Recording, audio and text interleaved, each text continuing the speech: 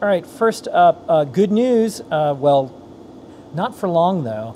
We have Grand Centrals back in stock, but I think um, people are buying up really fast because we didn't have them in stock because like global part shortage. So, anyways, um, get them while you can, and uh, you can actually even get 10% off right We now. We have the ones with headers. I think the ones without headers we're still waiting to get there. They're not unpopular, but um, I know people are waiting for these. Uh, we ordered the SAMD 51 P20s a year ago, and they finally came in. So we're starting to to manufacture. You'll see a couple things that have been out of stock for like a year um, come in because everything had 52 week lead time, and we're like, okay, we'll order now, and that was a year ago, Yeah. uh, and it's been 52 weeks. Here we go. Um, we've got this Grove pigtail cable. So this is um, a cable that you can use to plug into um, devices with Grove connectors. I even have one. I can show off. Hold on. One second.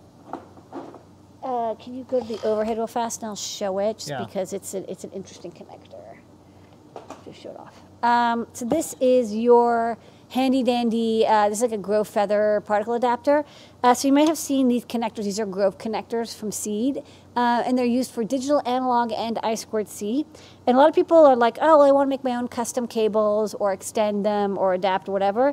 Uh, so this is the um, cable that plugs in, and it's even got the little latchy bit. So this is kind of the nice thing. I know you can sometimes shove JST PHs in there, um, but this pigtail, uh, you know, just has bare wires on the end. So it's great if you want to make your own custom cable. We also have an adapter cable from Grove to Stemma QT or Qwiic if you happen to need that particular cable. But if you're uh, you just want to make your own, um, this will also do the job. Okay. Next up, Uh, next up, another pigtail cable. This is a Molex. You know, there's a part number to this, but it's just called like a Molex IDE or floppy drive cable. Um, so we're using this stuff because we're starting to do floppy things, and we need sometimes 12 and 5 volt power. A lot of people have power supplies, or you can get a floppy power supply or a, a disk drive power supply. Uh, and this will just break it out for you. You get two grounds. Uh, the red wire is 5 volts, and the yellow wire is 12 volts. Also, really handy for making your own wire harnesses uh, to connect to those high power power supplies. okay, and then uh, it's finally here. Keep, keep. That's keep. right. Yeah. So we have all these characters for you know a lot of our stuff, and people assume we're doing NFTs. We're not. It's just a fun character for this board. The KB2040. Yeah. Um, yeah, what's funny is we came up with that character before NFTs. Yeah, Right? And now, But now that's the style. Everyone's like, oh, you made a character. I know. I know. It's I not. know. It's just a you happy can you can right click and save it. You always could, always will. Please be. do. Yeah. Uh, he's a very friendly keyboard. yeah. Um, so this is the KB2040 board, which we've had for a while, but now it's in pink.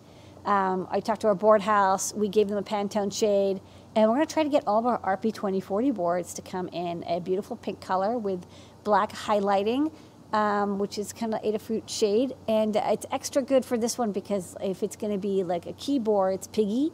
Uh, pink is a piggy color. So Yeah. uh, this is a great board for um, if you have keyboards that you are using like a Pro Micro with, but you want something more powerful. You can run CircuitPython on this. You can run MicroPython on it. Hey, I just subscribed. There's a QMK pull request to add RP2040 support to QMK, which is going to be massive because QMK is what like it has like 13,000 pull requests. Everyone uses QMK for their keyboards. Uh, so having the RP2040, you know, this is a chip that's available right now during the shortage. It's a powerful chip. It's a fast chip. Um, it's going to really make these keyboards fly. And uh, in addition to all the Pro Micro pins you know and love, uh, it's got USB-C, it's got Stemma QT, so you get extra two pins, so you can do a 10 by 10 keyboard array if you'd like. Uh, it comes with header, it's got castellated pads, you can short the USB if you want more power if you want to skip the fuse. And they bring out the two USB data pins. Um, could be handy if you're doing like a really funky wiring setup and you really want uh, to have the USB port totally separate from the board. Yeah.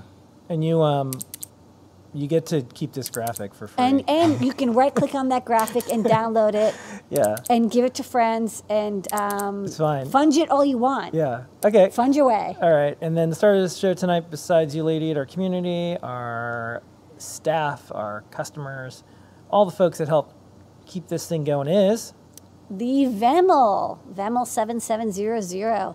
Uh, this is a STEMMA QTification, but with a twist. Uh, so this sensor actually comes in two part numbers. Uh, one is like the vertical type, and one is the horizontal type. And this is the right angle, I guess the horizontal version. So if you see the sensor, see that little pink purplish square in the middle there, the sensor points out. Most of our light sensors point up off of the board, and this one sort of points parallel to the board. This could be very helpful if you're doing like some sensing through a slit, or if you have to mount it in a certain way, or you're like you're trying to measure something passing by. Um, not sure what, but I thought it would be kind of handy. And uh, while we were at it, we STEMMA QTified the whole thing, so you can plug and play it with all of our uh, I squared C boards, like the KB2040, which has a STEMMA QT port on the end. Also, cool thing, Kattni edition. It's the Kattni edition. Kattni worked on this board, uh, and uh, she also has been doing so much work with the STEMMA QTification. She gets to have her signature on the back of this. It's uh, another in thing gold. that I think is kind of cool is, you know, electronics can have the people that make it. People made electronics. That's right. Kattni And- made this. Kattni made now this. you know. All right. Uh, so check this out. This is a great low-cost uh, Lux sensor, and we're probably going to add it to our giveaway, our freebie giveaway, because it's uh, such a handy one. And that's new product. Oh, oh, oh, oh, oh, oh, oh,